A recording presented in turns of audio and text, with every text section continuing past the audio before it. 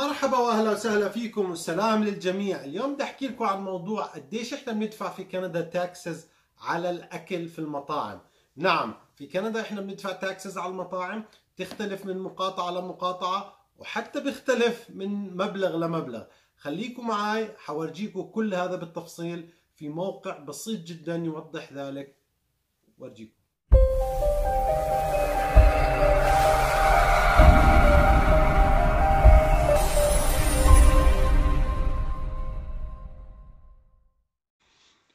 مرحبا اليوم إحنا على موقع آه، اسمه Restaurants Canada عشان نحكي عن ال sales tax الموجودة على الأكل.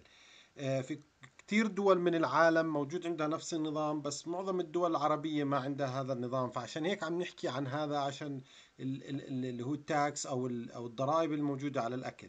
عادة لما تروح تشتري ضرائب من السوبر ماركت أو تشتري أكل من السوبر ماركت ما في ضرائب عليه بس الأكل المطبوخ في كندا آه، في عليه ضرائب. في شيء آه، غريب يعني في بعض المقاطعات إنها بتختلف من مقاطعة لأخرى. إحنا رحنا على Restaurants Canada زي ما أنتم شايفين على هذا الموقع.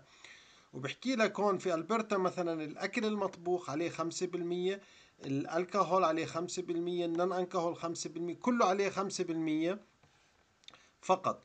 بريتش كولومبيا لا بتختلف. مثلا الكحول عليه 15% الأكل وال non alcohol وال equipment عليهم 5% آه، مانيتوبا 8 و5 13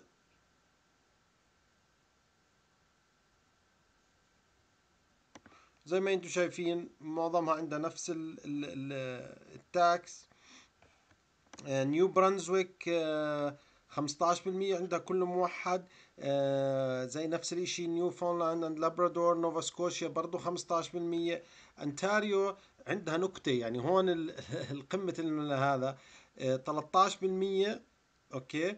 آه بس إذا بتشتري أي شغلة أقل من 4 دولار من prepared meal آه بنزل لك 800 بما معناه إنك رحت شريت كاسة قهوة بدولارين ونص مثلا الكاسة وبحطوا لك عليها بس آه، خمسة بالمية. إذا شريت كاستين قهوة بتدفع 13% فاشتري كاسة كاسة كاسة وادفع كل فاتورة بتطلع عليك أقل التاكس. وهذه جربناها وفي أحد الحلقات حكينا عنها. ما كنت عارف بالصدفة اكتشفنا هذا الموضوع. عشان هيك خليتني أبحث في الموضوع. طبعا برنس إدوارد آيلاند زي ما أنتم شايفين 14 كله عندهم آه، كيبيك عندهم تقريبا 15% آه، في كل إشي. ف يعني شايفين بتختلف. هاي ساسكاتشوان آه، كل إشي بيختلف. نورث ويست خمسة كله نونافوت واليوكون خمسة بالمية. آه، حبيت بس أشارككم بهاي المعلومة لأنه ال tax على الأكل المطبوخ والمباع وال coffee وال tea واي شيء تشتريه من مطعم عليه tax آه، ناس كثير ما بتعرفها فحبيت أشارككم هذه هذا الموضوع ويا سيدي الله يعطيكم العافية وإن شاء الله تكونوا استفدتوا من هذا الفيديو.